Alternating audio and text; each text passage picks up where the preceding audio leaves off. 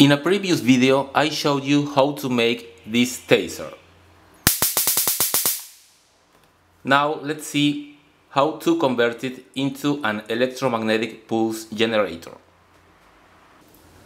This is the EMP device.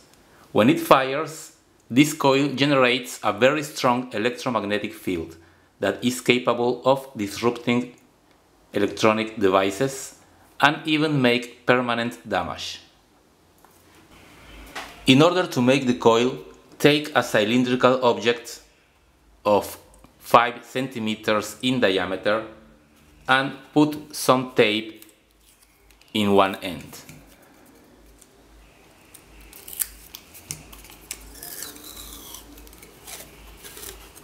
You need to put the tape in such a way that the sticky side is on the outside.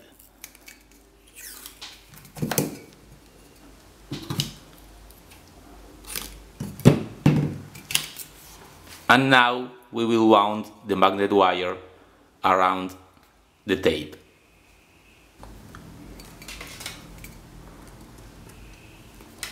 The tape will help prevent the wire from unwinding. Take your time and make sure that your coil is nice and even.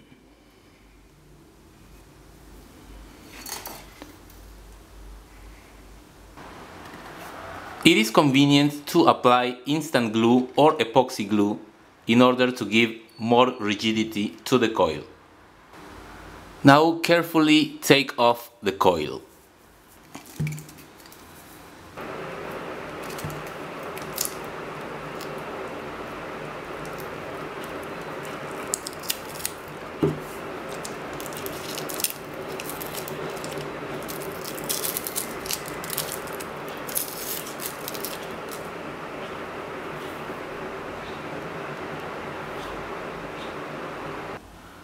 I will use this terminal block to make a spark gap. Here it is, you just need to put two copper wires. The spark will jump between these two terminals and you can adjust the distance simply by bending the copper wires. I have made some quick connections just to test if the system works. This is the high voltage terminals which are connected directly to the output of the high voltage power supply which is this and here we have the battery pack.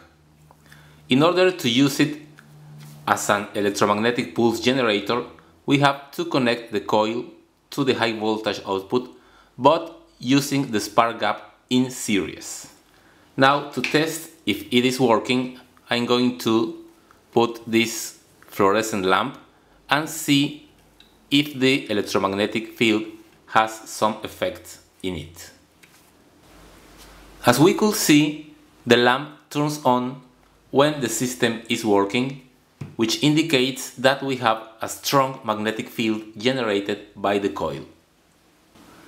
Now I'm going to take off these terminals, which are no longer needed, and put the spark gap inside, so that only the coil is on the outside.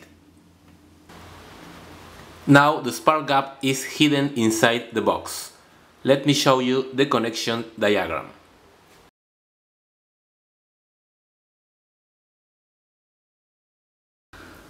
Let's try first with this fluorescent lamp.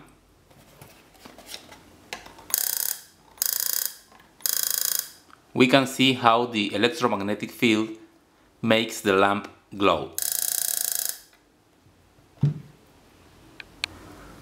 This small neon lamp needs about 80 volts to turn on.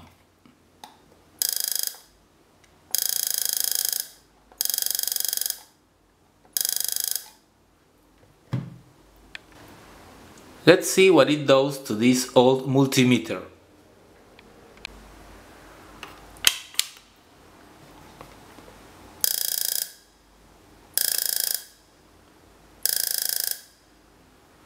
The multimeter shows a reading even when it is not connected.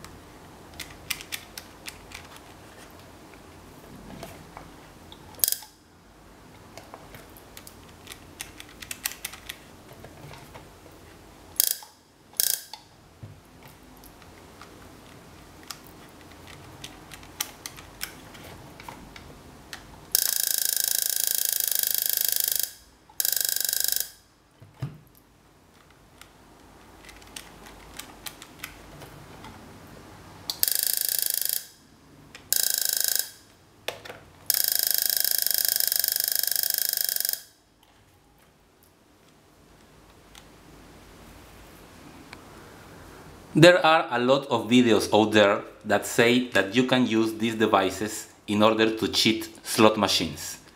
This, besides illegal, it is not true. These videos are fake.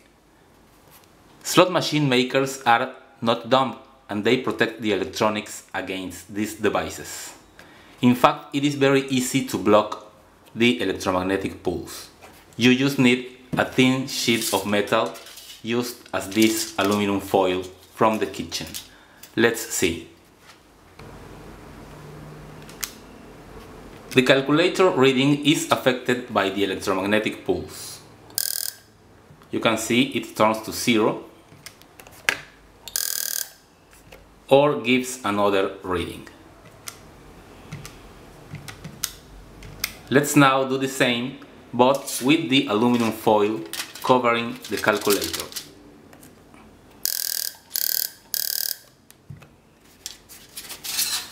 You can see that nothing happens.